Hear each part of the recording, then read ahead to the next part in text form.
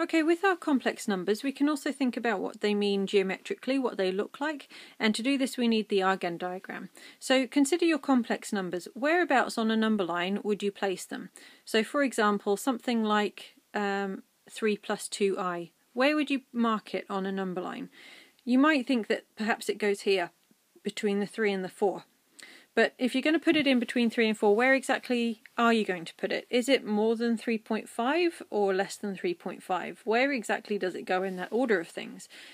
It doesn't actually fit on that line at all. It doesn't quite work because we've got that imaginary part that we just can't compare to the real part. So what we do is we set up a plane. And this is called the complex plane or the Argand diagram. And we compare our real part and our imaginary parts um, to give us this. So we set our real part is 3 and our imaginary part was 2i. So um, plotting where that number goes on the Argand diagram, you just use them like coordinates. Okay, so we can also think about it as a vector. So this would be um, the point that is uh, 3 away in the real direction and 2 away in the imaginary direction. And we can do things like um, do the conjugate, so that would be the reflection in the x-axis, since it just reverses the sign of the imaginary part. We could have something like minus 2 plus i, that would end up over here. And then if you think back to your addition stuff that you were doing, before you would compare the real and the imaginary parts, you'd get an answer like this. You can also think about it in terms of vectors. So if you do 3 plus 2i followed by minus 2 plus i, the same vector, would look like this, and it gets you that same result of 1 plus 3i. Okay, the modulus, if z equals x plus iy, the modulus of z is equal to the square root of x squared plus y squared. Now the modulus simply means the the length of that vector that we were talking about.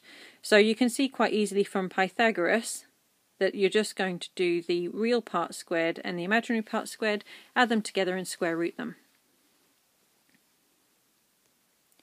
Uh, now loci, this is um, sets of points um, easiest to show you with some examples. So we're going to draw the set of points for which the modulus of z equals 5. So think about our Argand diagram. We want all of the possible z's that have a length of 5. So we could have this one, or it could be over here, or it could be over here. But you'll soon see the picture. Whatever we draw, it can be anywhere on that circle that's radius 5, because the, the length of the vector would then be 5. So the locus of all the points that have a modulus of z equals 5 is that circle with radius 5 centred at the origin. Okay, second example, what about this one? Drawing the locus of z minus 5 plus 3i um, modulus is equal to 4. So what's this saying? It looks like this. z minus this complex number of 5 minus 3i so put that into brackets as a separate number by itself, is equal to 4. So the distance between z and this number 5 minus 3i will always be 4. Okay, so now plotting what this looks like. Here's our number 5 minus 3i. We want all of the points that are a distance of 4 away from it. So that will be this circle here and you can mark off some useful parts. So the left hand edge of that circle will be at 1 since the radius of 4, the top part of it will be at i since the radius is 4. Now what if you were asked to, instead of saying where it's equal to 4, you do less than or equal to 4? You would shade in all of the inside of that circle.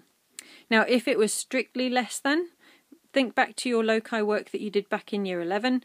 Um, if it's up to but not including the 4, that circle would be dotted. Okay, how about drawing the set of the points z for which z plus 3 minus 2i modulus is less than or equal to the modulus of z minus 4 plus i. Going to do the same thing of changing that into z minus a number. Um, so we've got z minus negative 3 plus 2i and z minus 4, plus, 4 minus i. So this is saying that the distance between z and minus 3 plus 2i is always less than the distance between z and 4 minus i. So it's always closer to minus 3 plus 2i than it is to 4 minus i. So how can we draw that? So we've got our two points. Um, if we want to know all of the points where they would be equal to each other, the distance between it would be equal, then we'd be looking for the perpendicular bisector here. We want it to always be closer to the minus 3 plus 2i, so we shade in this side. That's the side that we want to keep. Okay, now getting the equation of that line, we set them equal to each other, and then we solve it. So remember z is just x plus iy, so we um, put those values back in so that we can um, go ahead and solve this. So doing the modulus of those means that we will square the real and the imaginary parts, add them together and square root it. Set them equal to each other on both sides. Now squaring both sides gets rid of that square root part. Expanding our brackets looks like this. And then doing some simplifying we get the following. So we end up with 3y equals 7x minus 2. Um, we can rearrange that into y equals mx plus c, and that gives us the y-intercept of being minus 2i over 3. We could also um, set when y equals 0, find out what x would be to find the x-intercept. I'm not going to bother putting it onto this diagram because it's already getting a little crowded, but you can add as much detail as you need for that line.